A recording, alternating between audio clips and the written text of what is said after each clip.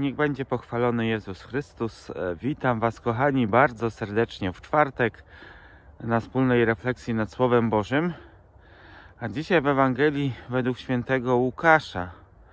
W krótkim fragmencie tego, tej Ewangelii słyszymy o tym, że Herod Tetracha chce bardzo spotkać z Jezusem. Że posłyszał o wszystkich cudach, o wszystkich dokonaniach Jezusa i chce go zobaczyć, chce się z nim spotkać. I niestety Herod nie zdobywa tej możliwości i nie spotyka się z Jezusem.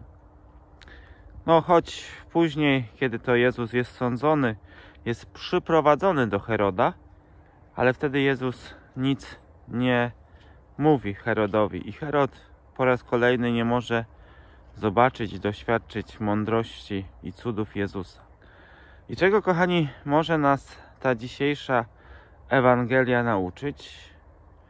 No właśnie tego, że i w naszym życiu mogą być takie momenty, kiedy z ludzkiej ciekawości chcemy zobaczyć Jezusa, a brakuje nam w tym spotkaniu wiary i nie doświadczamy Go. Może nas nauczyć tego, że dziwimy się, że choć prosimy Pana Jezusa o coś w modlitwie, to tego nie utrzymujemy, bo to jest tylko nasza ludzka zachcianka, a nie głęboka, głębokiej wiary modlitwa płynąca do Pana Boga.